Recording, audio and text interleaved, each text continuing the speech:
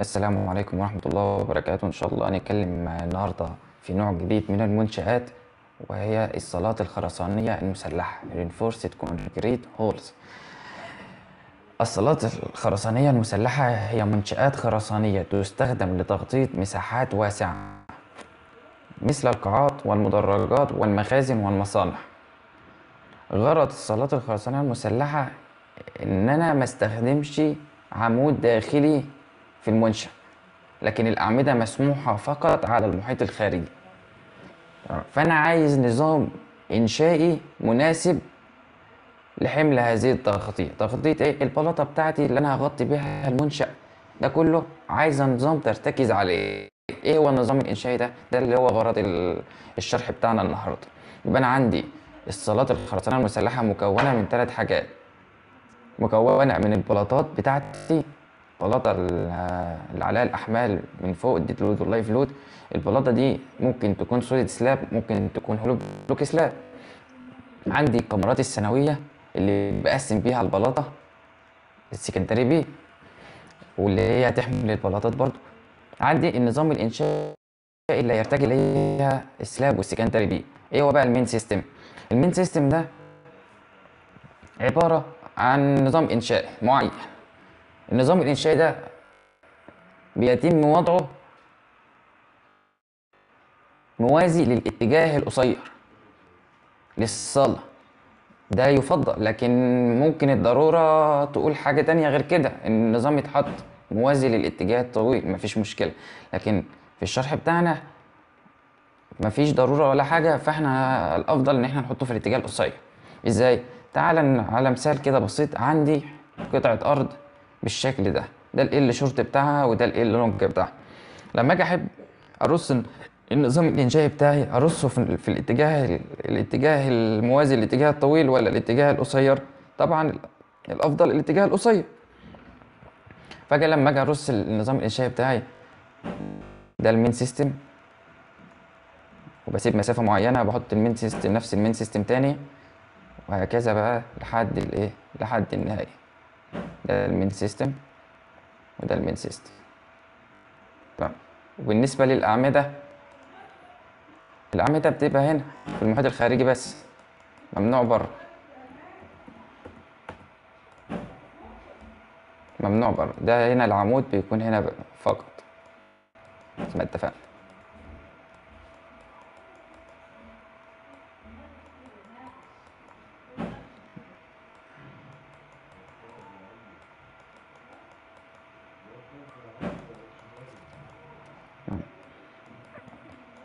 قلنا بالنسبة للبلاطة دي الب... قسمت بقى البل... قسمت قطعة الأرض أهو لبلاطات. تمام؟ البلاطة دي بقسمها لباكيات صغيرة أيضا. إزاي عن طريق إن أنا بعمل كمرات ثانوية بالشكل ده. الكمرات الثانوية بقى بتمشي من الأول للآخر. الكمرات الثانوية مرتكزة على ال main system بتاعي. بيتقسم بمسافة معينة برضه لحد النهاية. بالشكل ده. وهكذا بقى لحد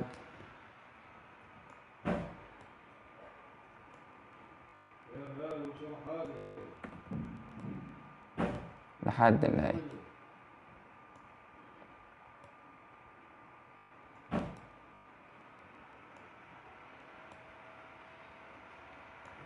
فأنا كده قسمت الباكية قسمت المساحة بتاعتي لحتت صغيرة من البلاطات.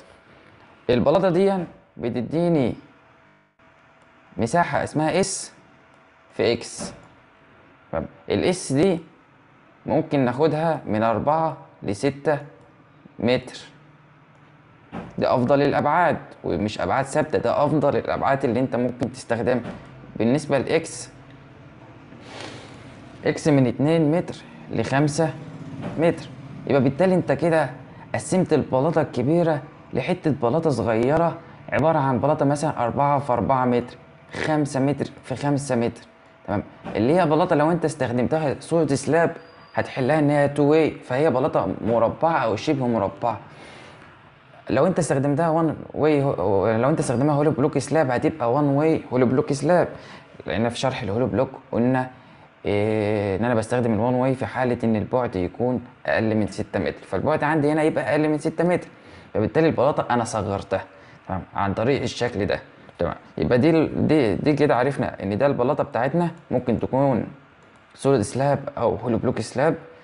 ده عندي secondary beam اللي شايلة البلاطة دي تمام؟ ده عندي ال main system تمام؟ ده ال main system وعرفنا إن ال main system بت بتحط على مسافة S ثابتة يعني دي S دي S دي S دي S ما بتتغيرش. نفس الكلام لل X. الكاميرات الثانوية ما بتتغيرش وما ينفعش إنها تتغير. تمام. تمام. ده بالنسبة للتغطية بتاعتنا والشكل ال plan بتاعنا. تمام. كلامنا بعد كده كله هيبقى على ال main system. إيه هو ال main system؟ ومما يتكون ال main ال main system. تمام. هو ده شكل الصالة اللي إحنا اللي إحنا رسمناها دلوقتي إيه مع بعض. فعبارة عن ال شورت اهي وده ال long قسمتها ب main system؟ على مسافات spacing متساوية والكاميرات الثانويه على مسافات برضو متساوية. وده ال- slab بتاعتي. وده أفضل الابعاد اللي هي ال S اللي هي من 4 ل 6 متر ممكن نلعب على 5 متر 5 وشوية 5 إلا شوية اللي هو المتوسط يعني فلما أجي آخد قطاع بالشكل ده عشان أبين ال main system بقى وأعرف إيه هو مكونات ال main system فألاقيه بالشكل أو بالمنظر اللي أنت شايفه ده هلاقي عبارة عن إيه عبارة عن كاميرا كبيرة كاميرا كبيرة لما تكبر شوية بسميها girder يبقى الكاميرا دي من الو- من الوقت هنسميها إيه؟ عدنا هنسميها girder لما أجي أقول لك على لما نيجي نشتغل على ال main system الكاميرا اللي فيه هقول عليها girder مش هقول عليها beam. تمام؟ فال girder عبارة عن كاميرا كبيرة. تمام؟ ده هو ال main system. ال girder ده هيبقى girder بتاع إيه؟ هنعرف الوقت. إيه ده ال slab وده الكاميرات الثانويه لما تيجي تقطع. كده زي ما أنت شايف بتشوف الكاميرا الثانوية وبتشوف البلاطة وبتشوف ال girder أو ال main system بتاعك اللي هتشوف. ده اللي إحنا شفناه ال main system ال slab ال secondary beam تمام؟ و... وده في اتجاه ال شورت وده اتجاه ال long وده العمود بتاعك تمام؟ وطبعا له تخانة. ده ال... ده ال... ده ال main system بتاعك اللي إحنا المفروض نختاره بتكرره بقى على مسافات متساويه وتحط البلاطة بتاعتك عليه. تمام؟ ال main system بقى ده هختاره إزاي؟ والله أنا ببص على ال شورت بتاعي وحسب الرقم بتاع ال شورت بيتم اختيار نوع ال main system تمام؟ ده ال main system طب إيه بقى أنواع ال main system اللي عندي؟ عندي أنواع كتير. أول نوع وأبسطهم وأسهلهم هو ال simple girder أو ال continuous girder إيه هو ال simple girder أو ال continuous girder هو عبارة عن إيه؟ عن كاميرا عادية. أنا عندي عمود أهو. وعمود هنا اهو. عملت عليهم كاميرا كبيرة شوية ركزت عليهم كاميرا كبيرة كاميرا عادية تمام؟ فاللي هو إيه؟ اللي هو ان انت عشان تعرف ان انت عشان تحلها اكنها كاميرا كاميرا اللي انت درستها قبل كده ده support وده support الكاميرا ملهاش علاقة بالعمود. الكاميرا ملهاش علاقة بالعمود. فبالتالي بتحل الكاميرا وتحط عليها الأحمال بتاعتها ال dead load وال live اللي هو ال dead load زائد ال live load تمام؟ وتحلها. تجيب العزم اللي هو ده ب WL تربيع على التمانية. وتاخد القطاع وتصمم وتجيب التسليح بتاعها وكاميرا عادية خالص بس اسمها girder ده بالنسبة لل simple girder طب لو كانت continuous continuous يعني أنا عندي حتة الأرض قسمتها لاتنين. حطيت حطيت ال main system مرتين فخليتها continuous فكده سم- مسموح لي هنا بإن أنا أحط عمود داخلي. طب انت قلت لي مش مش مسموح ان أنا استخدم عمود داخلي. ده بستخدمه في حالة خطوط الإنتاج. في مصانع كده بتشتغل خطوط إنتاج بتحتاج إن أنت تعملها بالشكل ده. تمام؟ فما فيش مشكلة.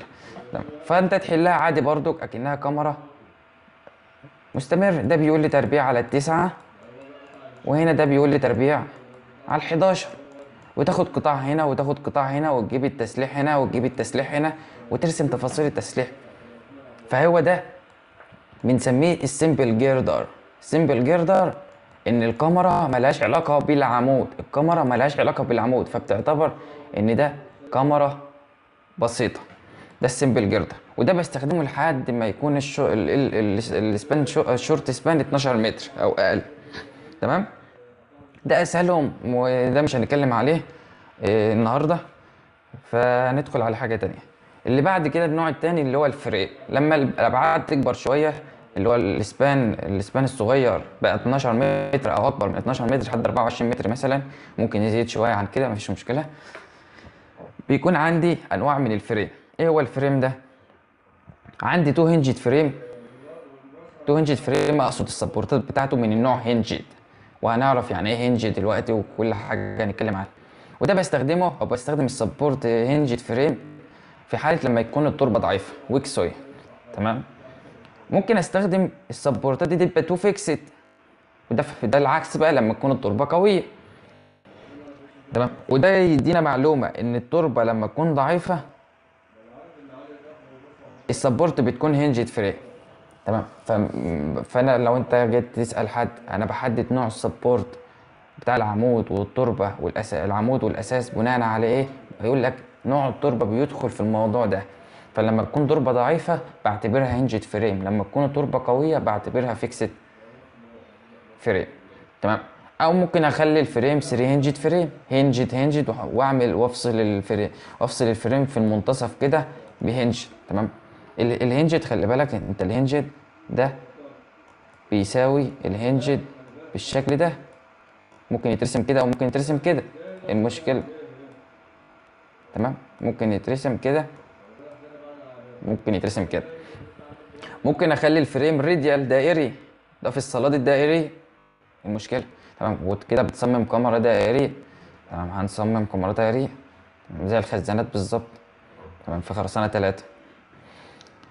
موجودة موجود الفيديو بتاعها. عندي لما ال span يكبر عن كده بندخل بقى على أنظمة جديدة. اسمها ال arch girder أو ال truss أو ال vierendeel تمام ده لما تكون بقى الأبعاد أكبر من 24 متر لحد 40 متر. بستخدم ال arch girder بالشكل ده ده ال vierendeel بالشكل ده ده ال truss بالشكل ده. تمام ده لما الأنظمة تبقى واسعة شوية. طبعا لو النظام كبر أكبر من كده ممكن أدخل على أنظمة جديدة اللي هي ال shells القشريات. في أنواع كتير منها بتستخدم لتغطيه الصالات ودي النظام الجديد. فإحنا بنسمي الأنظمة دي الأنظمة القديمة وفي انظمه جديدة اسمها ال shell لكن إحنا هنتكلم على الأنظمة القديمة. هنس... هنتكلم في, الم... في هنتكلم النهارده على ال two hinged frame تمام؟ ده ده موضوعنا الأساسي بتاع النهارده ونطبق عليه إن شاء الله. تمام؟ اوريكم حاجة قبل ما ندخل. أنا عندي ال system بتاعي بيبقى مكون بالشكل ده. girder ال slab ال secondary beam أنا عندي الكمرة عمقها كبير ممكن توصل ل 2 متر. مفيش مشكلة. فأنا عندي البلاطة بتاعتي والكمرة أو النظام بتاعي أو التغطية بتاعتي اللي هي ال beam وال slab ممكن أحطها فوق على ال girder من فوق.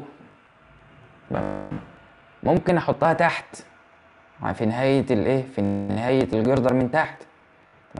ممكن أحط جزء فوق. وجزء تحت.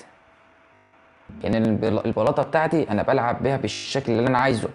دي أشكال متاحة أنت ممكن تستخدمها في أي وقت أنت عايزه أو مطلوبة فيه.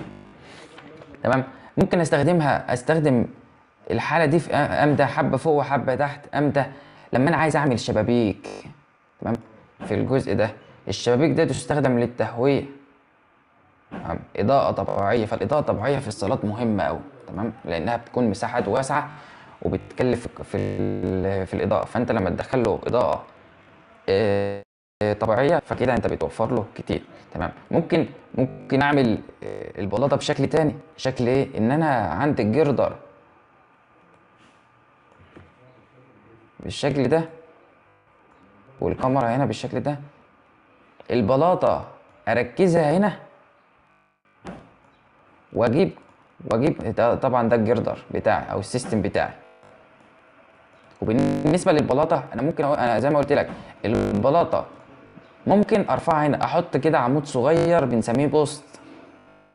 بنسميه إيه؟ post. عمود صغير يعني post. تمام. واقوم راح مثبت البلاطة بتاعتي هنا. منسوبها يبقى صفر هنا ومرفوعة هنا على post وهكذا بقى وهي ماشية. ونفس الكلام تكرره. البلاطه مرتكزة هنا ومرفوعة على post هنا للي بعده وهكذا. فيديني فيديني إيه؟ وأقسم بقى البلاطة بتاعتي الكمرات الثانوية. فيديني بلاطة مايلة بسميها بلاطة سن المنشار أو السيتوس. تمام؟ بستخدمها ومفيدة قوي في المصانع المصانع اللي هي بتاع آه، بتاع الملابس اللي فيها صبغه تمام بتحتاج إضاءة طبيعية أو بتحتاج لما تيجي تعمل إضاءة طبيعية يقول لك ما تخليها إضاءة غير مباشرة يعني الشمس ما تدخلش على طول يعني مثلا لو الشمس هنا لا يبقى الشباك الناحية التانية أو في ناحية الشمال شوف ناحية الشمال فين هو هيشاور لك عليه وتحط الشباك ناحيته فهنا في في الجزء ده هو بحط فيه الشبابيك فتدخل هنا آه، الإضاءة بتكون غير مباشرة في الاتجاه ده. فده نوع جديد برضو مش نوع جديد ولا حاجة أنا البلاطة بس اللي بلعب بيها يا إما اخليها أفقية يا إما اخليها مايلة براحتي. تمام. إحنا بقى في الموضوع بتاعنا النهارده البلاطة هتبقى أفقية تماما. تمام. ممكن بما إن كاميرا الجردر كبيرة ممكن أعمل فيها فتحة بس خلي بالك أنا ممكن أعمل فتحة في فتحة في الجردر عادي لكن في أماكن مناسبة. إيه الأماكن المناسبة؟ انت عندك لما تيجي تاخد القطاع بتاعك بالنسبة للقطاع إحنا عارفين ان في حاجة اسمها neutral axis ال neutral axis ده للخرسانه المسلحة بيديني ان في جزء ضغط وفي جزء شد. تمام؟ جزء إيه؟ ضغط وفي جزء شد. قلنا جزء جزء الضغط الخرسانة كويسة في الضغط فبحتاج هنا الخرسانه تمام؟ بحتاجها كلها لكن هنا الخرسانه في الشد فبجيب لها حديد تسليح. طب وبالنسبه بالنسبة للخرسانة اللي هنا مش مجهدة فأنا أقدر أشيل جزء من الخرسانة اللي هنا في المنطقة دي بالظبط ان أنا ممكن أعمل فتحه أماكن اللي أنا مش محتاج فيها خرسانة اللي هو اللي هو تحت ال neutral axis في منطقة بالمنظر ده والفتحات بتكون مناسبة. الفتحات دي بستخدمها في إيه؟ بمشي فيها التكييف المركزي. تمام باجي في النص. طب واحد يقول لي طب ما أنا ممكن. لا، ممكن أعملها هنا؟ ممنوع. ليه؟ لأن أنت ما أنت ما عارف إن دي منطقة اتصال ومنطقة الاتصال ما تنساش إن دي كمرة والكمرة بيحصل عليها حاجة اسمها shear force وأقصى قيمة ليها من وش العمود. تمشي المسافه دي على الاثنين فبالتالي المنطقة دي بحتاج فيها الخرسانة بالكامل لأن القص بقاومه عن طريق الخرسانة وحديد التسليح. تمام؟ فممنوع إن أنت تشيل حاجة من الخرسانة من هنا مسموح لك هنا في النص كمرة بس. ليه نص الكمرة؟ لأن أنت الكمرة عندك عليها نص الكمرة من هنا أقصى عزم في النص وأقصى عزم بيقابله zero shear. تعال نرسمه. أنت عندك ده. لما تيجي ترسم ال shear ده أقصى قيمة لل shear. هنا هنا zero shear. تمام؟ يقابله بقى إيه؟ ال zero shear يقابله أقصى قيمة للعزم اللي هو عنده الشد أصلا. الشد هنا أنا مش محتاج فيه الخرسانة. تمام؟ لكن أنا بحتاج الخرسانة لما يكون عندي shear فأقصى قيمة عند ال shear هنا يقابلها zero moment. فبالتالي zero moment يعني في ضغط هنا يعني أنا محتاج الخرسانه هنا لأن الخرسانة عليها ضغط وعليها shear فم- فممنوع إن أنا أشيل جزء من الخرسانة من على الطرف بتاعها أو من جنب العمود. لكن أنا مسموح لي في النص هنا أشيل الخرسانة اللي أنا عايزها من تحت ال neutral axis لأن بيبقى عندها zero shear بيبقى عندها M M maximum تمام؟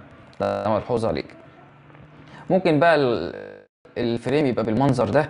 ممكن يبقى بالشكل ده تميله. مفيش مشكلة ونفس الكلام بالظبط تميله بس عشان المطرة مثلا عايز تعمل آه، مسار للمية ما تقفش فوق.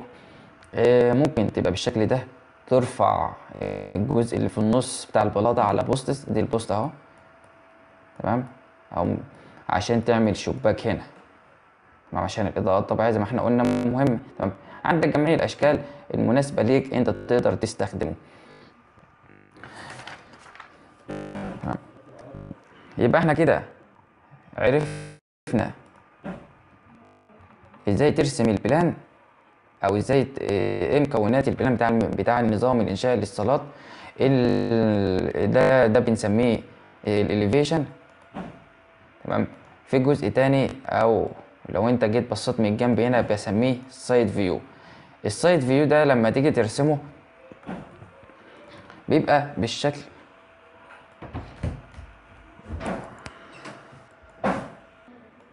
لما أجي ارسم ال side view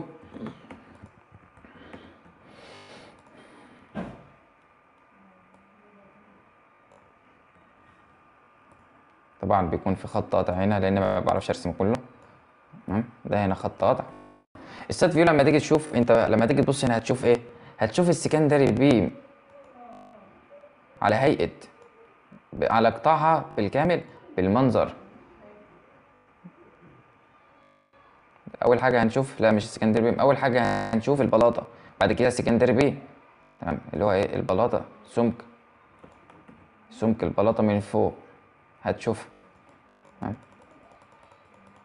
تحتها هتشوف السكندري بيم بالشكل ده اللي هو باينة قدامك بقطاعها أو بمساحتها الكلية.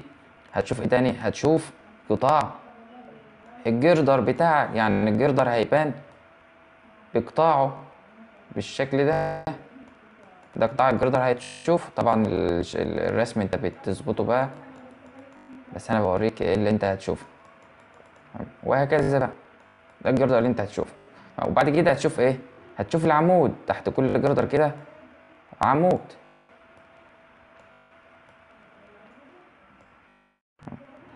الصالات. بالنسبة للصالة أقل مساحة أو أقل ارتفاع من جوه هو أربعة متر. فالصالات بتبقى ارتفاعات واسعة. فالارتفاع ده أقل حاجة ممكن تستخدمه أربعة متر. لكن أنت لما تيجي تشوف أي صالة هتلاقيها أكبر من أربعة متر. ممكن توصل لسبعة متر. تمانية متر ستة متر. فبتبقى كبيرة. فالعمود بيكبر معايا. تمام. لكن طيب دي مش مش دي المشكلة. العمود لما يكون كبير ارتفاعه كبير ارتفاعه صغير بتصمم. لكن المشكلة عندي في إيه؟ إن أنا الجزء اللي ما بين ما بين العمود ما بين العمود اللي هو ال S اللي إحنا بنسميه ال S آه اللي هو ده اللي هو المسافة ال spacing بغطي بغطي الجزء ده بحوائط طوب. تمام. حوائط الطوب دي ما ينفعش يزيد ارتفاعها عن 3 متر لكن دي بتبقى 7 متر. طب هنعمل إيه بقى؟ نحل المشكلة دي إزاي؟ باجي في باجي مثلا في النص هنا وبحط كمرة بسميها wall beam. بسميها إيه؟ wall beam. ممكن أحط كمرة في البداية وكمرة في النص. فبالتالي أنا كده قسمت قسمت الارتفاعين الارتفاع لارتفاعين تلاتة ونص تلاتة ونص. تمام. لكن واحد هيقول لي ده كبير وماله. هي مش هتبقى تلاتة ونص بالظبط لأن أنا حطيت كاميرا فالكاميرا دي هتاخد عمق. فبقت مثلا فبقت اتنين ونص متر. بقت اتنين ونص متر والباقي دخل في نص والباقي دخل في الإيه؟ في الكاميرا. تمام. فكده الكمرة هنا بقى لها فايدتين. إن أنا قسمت الطوب والفايدة التانية إن أنا قسمت العمود فالعمود بقى قصير ما بقاش طويل. ليه؟ لأن العمود لما بيحصل له buckling أنا خلاص ربطته في المنطقة دي فأنا ربطت العمود فكده همنع ال buckling بتاع العمود. ده بالنسبة للصالات كمقدمة كده بسيطة ليها آه، بحيث إن أنت تفهم يعني إيه صالات وعرفت أنت الأنظمة اللي عندك وإن شاء الله بقى إيه نطبق في مثال